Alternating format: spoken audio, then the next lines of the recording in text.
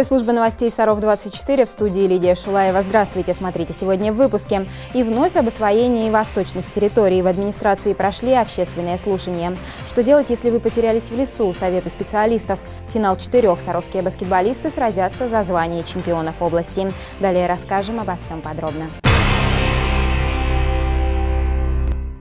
Нужно ли застраивать восточные территории? Этот вопрос горожане обсуждали более трех часов и к единому мнению так и не пришли. Число зарегистрированных участников общественных слушаний 260 человек. По факту людей было гораздо больше. Актовый зал администрации был забит битком. На рассмотрение пришедшим представили проект планировки микрорайонов 1А и 1Б. За разработку этого проекта администрация заплатила 12 миллионов рублей. От 500 до 600 тысяч квадратных метров жилья для 14-15 тысяч человек возвести на площади 110 гектаров. Таков план застройки восточных территорий. Об особенностях района, о геодезии и истории генплана города. Чуть позже о самоштабности нового проекта застройки человеку, прогрессивной схеме транспортного обслуживания и соответствии требованиям умного города. Вступительная часть общественных обсуждений микрорайонов 1А и 1Б затянулась почти на два часа. Люди, пришедшие поговорить о своих переживаниях, связанных с новой застройкой, теряли терпение и высказывали недовольство. На избор берете народ! На избор! Заканчивайте быстрее. Вы пришли сюда на заслушать проект планировки. После того, как он отработает свои деньги, я грубо скажу, да, вы можете задать свои вопросы. Администрация всячески препятствовала высказыванию мнения жителей и как-то проталкивала вот эти длинные доклады, которые ни уму, ни сердцу и не несли практически никакой информации. Все кричали регламент, регламент, а лично я не голосовал за такой регламент, когда одни выступают по 40 минут, а другим только 3-5. Изначально слушания планировались как обсуждение планировки района, и вопрос, строить в восточном направлении или нет, не стоял. Но пришедшие были настроены иначе. Многие категорически не приняли саму идею о застройке. В докладах у всех звучала ссылка на генплан. Основной действительно документ – я был депутатом городской думы в 80-е годы в пяти зазывах. Неоднократно рассматривались генпланы. И я очень помню хорошо, как проектировщики Ленинграда говорили о том, что в восточном направлении развития города не должно быть.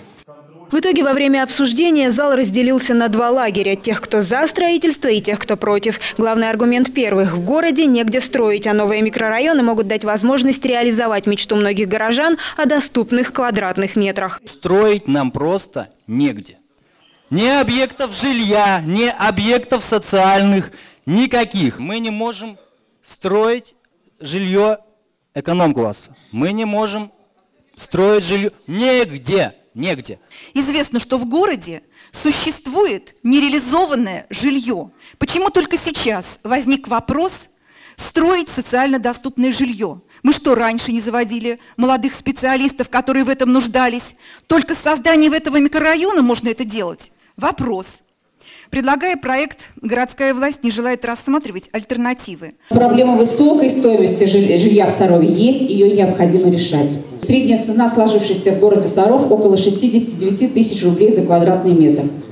Ведь даже имея, в общем-то, не маленькую зарплату в ядерном центре, и учитывая существующее сегодня процентное снижение ставки, тем не менее, покупка квартиры для молодого человека в городе Сарове, Сарове сегодня практически, ну, достаточно тяжела, а иногда и невозможна.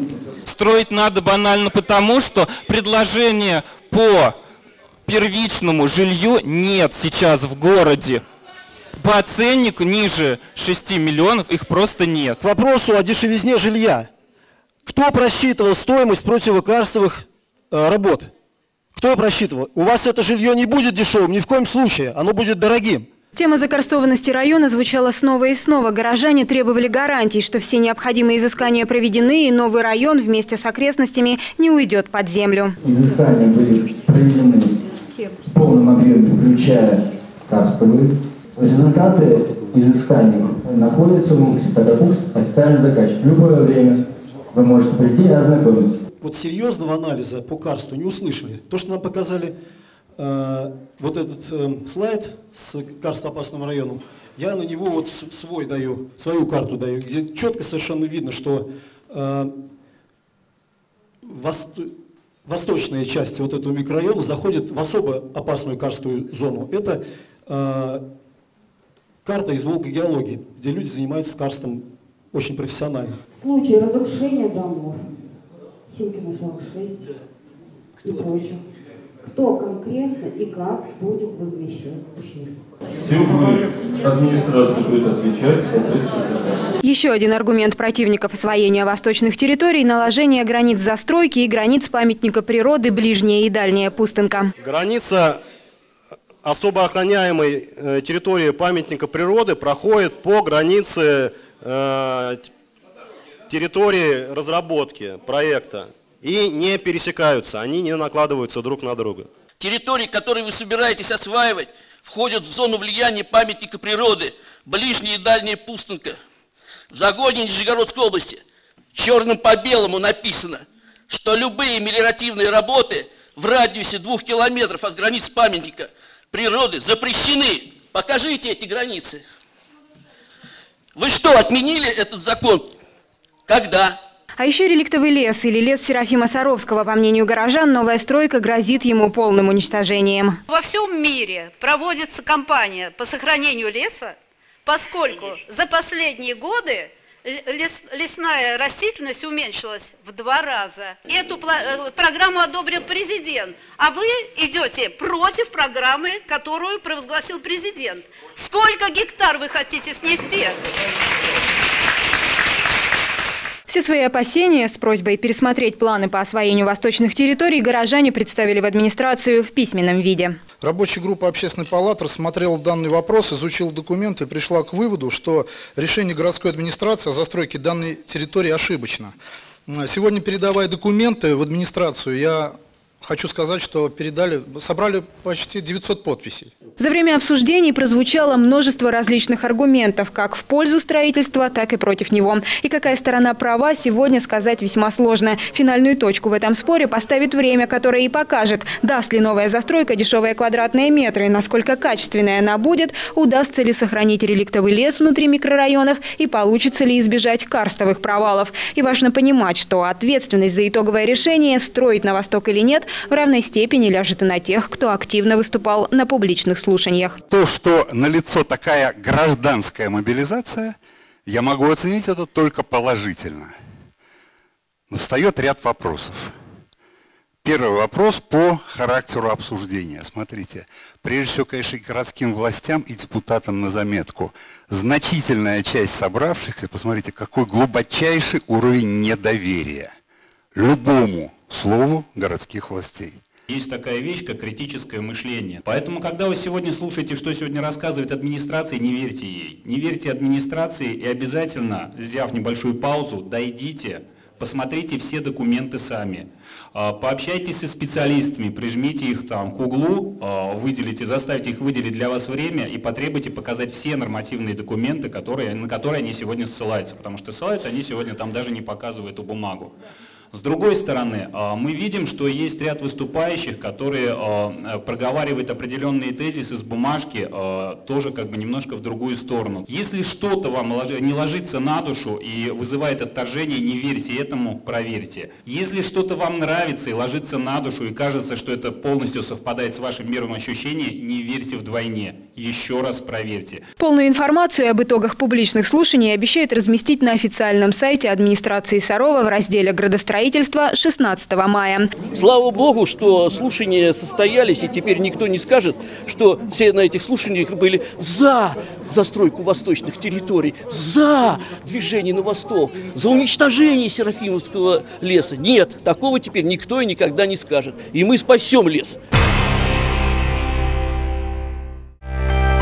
Компания «Саров Инвест» предлагает квартиры в готовом 14-этажном доме по проспекту Музрукова стоимостью от 52 тысяч рублей за метр. Лучшее расположение среди новостроек города. Подробности в офисе продаж в торговом центре «Атом», пятый этаж. Телефон 671 17.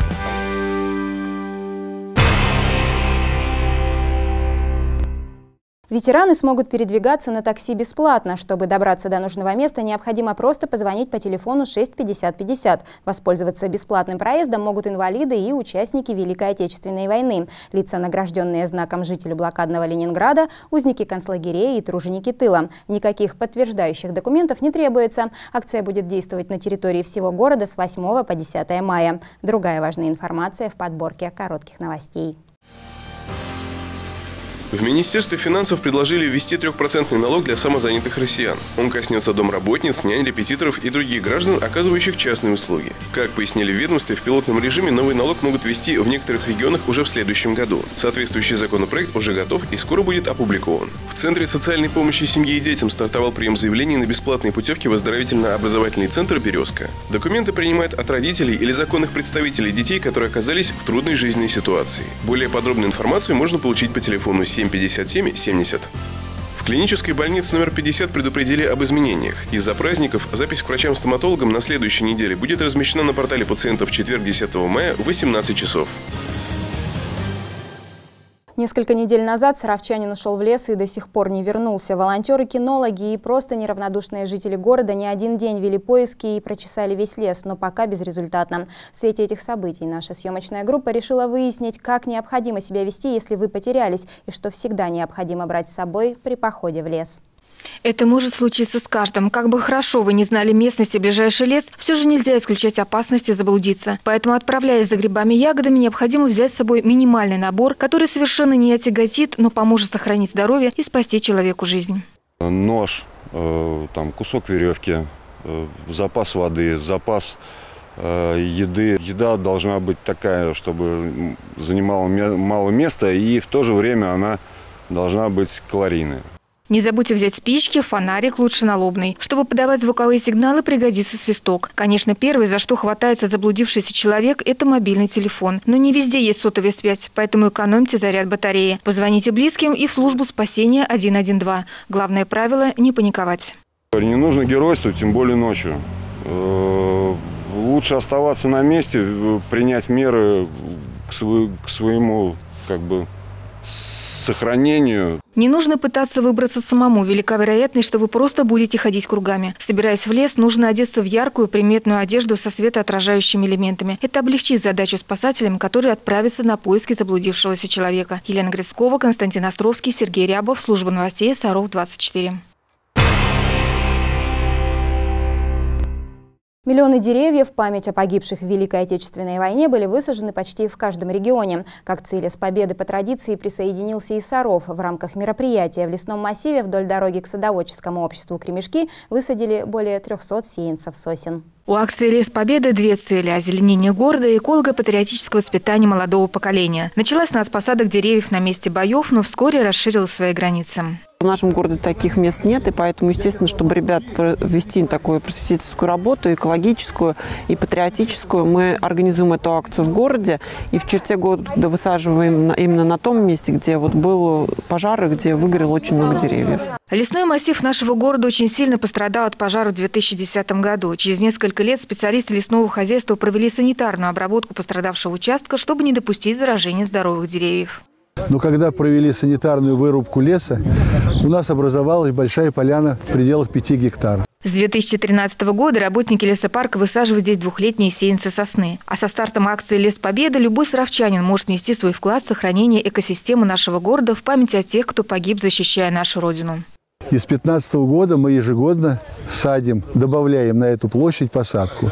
Здесь у нас посажена сосна, елка, э, ну, береза здесь, береза как бы она естественно растет, и сосна сибирская здесь посажена. В рамках всероссийской акции в этом году школьники Союза детских организаций «Сияющие звезды» помогли высадить 300 сеянцев сосны, а еще 300 были посажены работниками лесного хозяйства. Елена Грицкова, Владимир Лисик, Сергей Рябов, служба новостей «Саров-24». Для одних баскетбол – это просто игра, для других – серьезный вид спорта, в котором необходимо достигать определенных высот. И нашим спортсменам это удается. Уже в эти выходные саровские баскетболисты примут участие в финале четырех и поборются за звание чемпиона Нижегородской области. Весь сезон наши спортсмены шли к этому событию, к серии финальных матчей областного чемпионата по баскетболу. 5-6 мая на базе ФОКа «Звездный» в Арзамасе в борьбе за чемпионство столкнутся сильнейшие команды региона – из Сарова, Заволжья, Нижнего Новгорода и Арзамаса. Баскетбольный Футбольный клуб «Атом» участвовал во всех финалах четырех за время их существования и ни разу не уезжал оттуда без призовых мест. На самом деле это самые сильнейшие команды на данный момент в области. Вот, соперники равные, борьба будет бескомпромиссной. То явного лидера здесь как бы не наблюдается.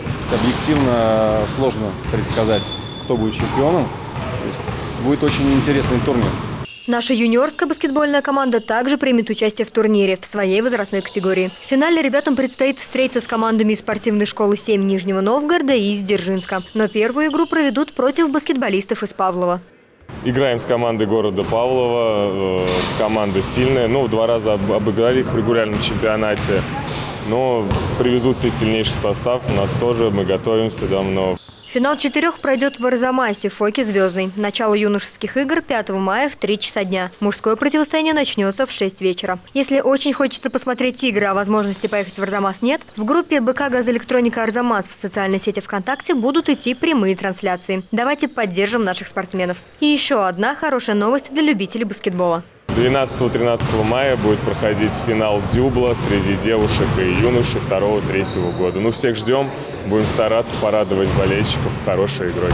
Мария Рунч, Владимир Лисик. Служба новостей. Саров 24. И это все, о чем мы успели рассказать вам сегодня. Следите за новостями города на нашем канале в YouTube и в группах в социальных сетях ВКонтакте, Facebook и Одноклассники. Также вся актуальная информация на сайте sarov24.ru. В студии работала Лидия Шулаева. Всего вам доброго и хороших вам новостей.